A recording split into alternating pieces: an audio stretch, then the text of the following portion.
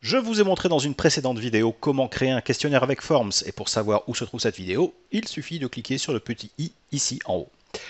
Mais savez-vous que Forms vous propose également de faire des questionnaires avec embranchement? Je vous montre.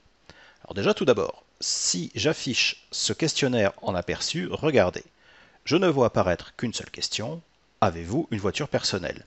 Et vous vous doutez bien qu'en fonction de la réponse oui ou non, le reste des questions va être différente. Donc par exemple, si je clique sur oui, J'affiche quel est le type de votre voiture, combien de kilomètres faites-vous par an? Mais maintenant, si je clique sur non, regardez bien, cette fois-ci, pour quelle raison vous n'avez pas de voiture personnelle? Et là, je peux faire un choix multiple.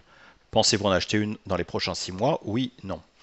Donc vous voyez, en créant un questionnaire avec embranchement, vous êtes capable de mieux diriger les gens en fonction de leurs réponses et donc vous de pouvoir exploiter beaucoup mieux leurs réponses. Maintenant, je vous montre comment j'ai fait. Je reviens à la construction de mon questionnaire. Donc de base, si je clique sur Aperçu, je vois apparaître les cinq questions que j'ai initialement créées. Maintenant, si je reviens en mode édition, je vais ici sur les trois petits points. Et dans les trois petits points, j'ai l'option embranchement.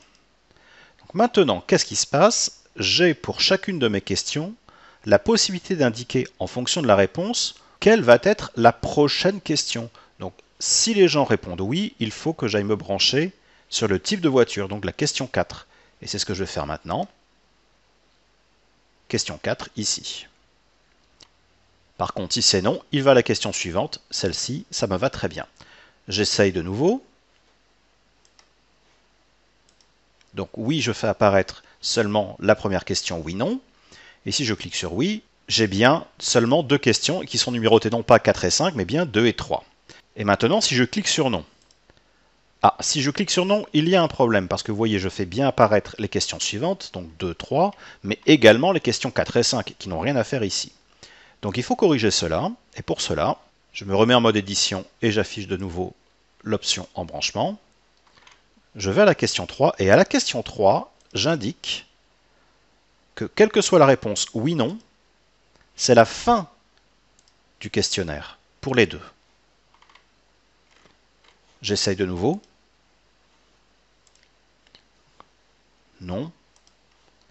Et oui, je n'ai plus que deux questions.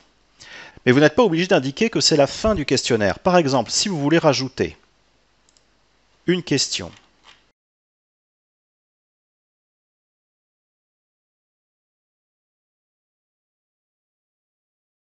comme ceci.